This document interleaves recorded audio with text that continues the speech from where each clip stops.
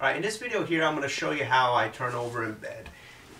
A problem with uh, having muscular dystrophy is you kind of lose the ability to sit up and turn over in bed. So you have to kind of come up with modified steps in order to, to accomplish that goal. So like I said, if, if I'm laying here and if I want to sit up, I, can, I cannot just sit up. My muscles won't allow me. If I want to roll to the left side of the bed or to the right side of the bed, I can't just turn. I have to kind of use uh, my arms and my and, and, my bed obviously to help turn me. So what I do when I want to turn over in bed is I'll take my right arm and I'll put it on the, the right on the left side of the bed here and I'll just pull so I can you know I can pull myself to the side and then that way I can lay on my side. If I don't pull then I won't be able to do that.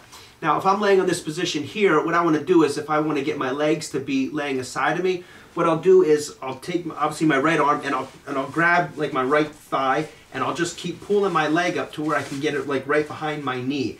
And I'll take my right foot and I'll hook it in underneath my my right behind my left knee and I'll just again just it's all kind of like pulling it up as you know just in a segments. I'll just pull on my leg and then in turn it will pull up my leg and my left leg and then I can just lay sideways the same thing, I could do the same thing for the other side. It's just using the left arm on the left leg and pulling up the right leg. So um, that's basically how I turn over in bed.